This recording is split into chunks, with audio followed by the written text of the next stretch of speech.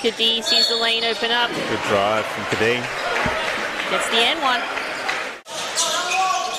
Oh, picked and out. turnover. Blanchfield's got that one. Blanchfield gets it to Cadee. He lights it up from three. Cadee.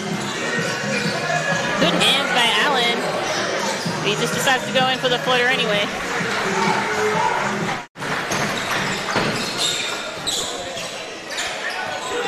Cadee just wants to light it up. And he He does.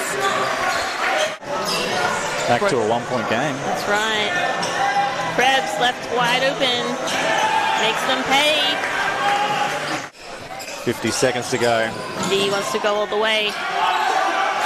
Good effort by Sapwell. His hand on the ball, but pretty better offense.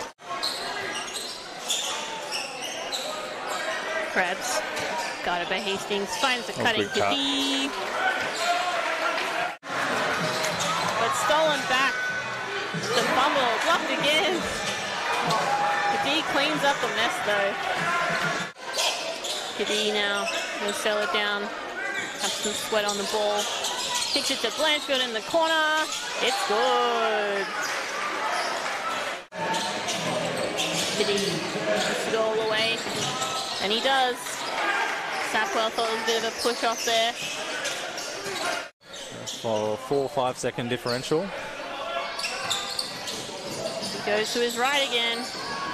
Nothing Gak could do. Gak with his back to the play. He takes advantage. Spartans just need to offer up something a bit better than that in offense. Nice pass by Cadee into third.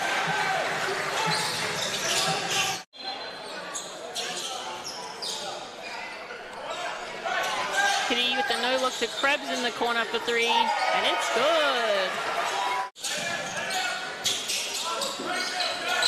Cadee, that's a steal. Just a foul in the end one.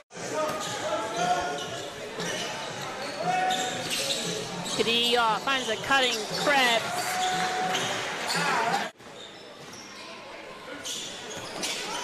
Cadee's out on the run. Just let him stroll in.